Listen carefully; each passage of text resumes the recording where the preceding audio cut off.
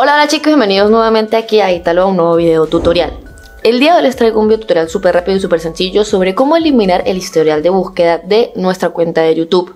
Si por casualidad la vida quieres borrar el historial de los videos o de las cosas que has buscado en YouTube, claramente que puede ser música, videos, etcétera. Hacerlo realmente es bastante sencillo, pero puede que muchas personas no sepan cómo hacerlo. Así que si están interesadas, sigue viendo este video. Claramente lo primero que tenemos que hacer es ingresar a nuestra aplicación de YouTube desde nuestro dispositivo móvil. Estando aquí, obviamente, si nos vamos aquí a la lupita, van a salir todas, todas, pero todas nuestras búsquedas este, que hemos hecho recientemente. Para eliminarla nos vamos a ir aquí a nuestro icono de nuestra foto de perfil y claramente nos vamos a ir al apartado de configuración.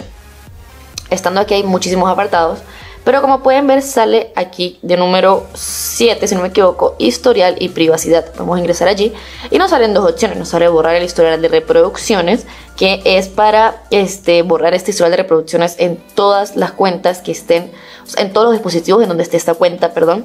Y obviamente también esto excluye tus historias de YouTube si subes, etc. Y está el borrar el historial de búsqueda.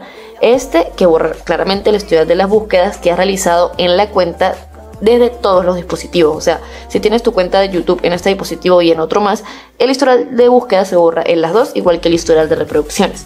Entonces ustedes simplemente dan clic allí.